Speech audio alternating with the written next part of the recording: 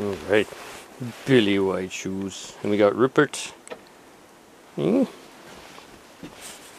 We're all buddies here. Billie put up with a very, very cold snap. And Billie likes to hang out on my deck. My feral Billie. Yeah, this cat's really turned into a real friendly critter. She sometimes comes in the house and um, just in the front way and there's a little carpet there and starts going nuts at the carpet. What do you think, buddy? We're just back from our walk. I didn't mean we're going for a walk. You're gonna sit, give you a treat, because you're such a good boy. Nice? Right up, boy. Oh, January 22nd, beautiful day.